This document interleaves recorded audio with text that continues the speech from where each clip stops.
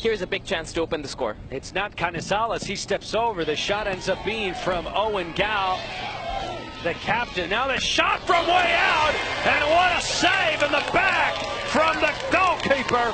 Doing his job. Sebastian Lutine. What a rival shot. Portnoy one's in the back. Eli gets it. Could have a shot. He does. What a save from Joshua Nimeroff. And 13 and a half in. Clearly he is the reason why Real New Jersey hasn't conceived a goal. Corner kick, Dallas's ball. This is a crafty play. What a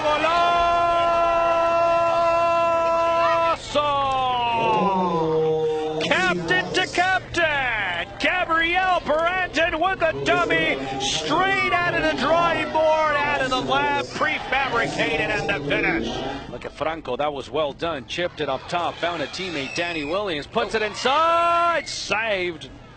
Last minute by the keeper, Sebastian Lutine, who was able to get there in time. Has been defending well. Carson Polasek going all the way. Carson still with a shot, can have it.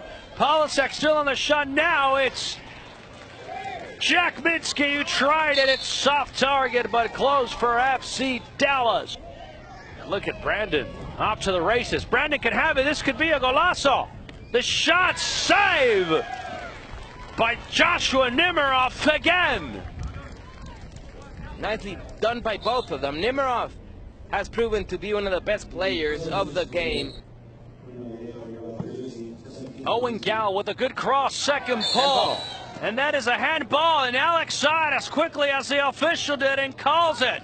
Penalty kick, and it looked to be that time Chase Masao.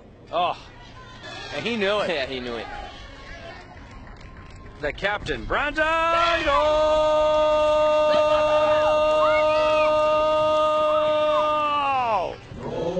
Gabriel Brandon makes it 2 0. And that's going to be the end of the game. 50 exact. That's it for the official FC Dallas half defeated Real New Jersey 2 0 on a Gal goal, on a Brandon second. Both captains appearing on the scoreboard.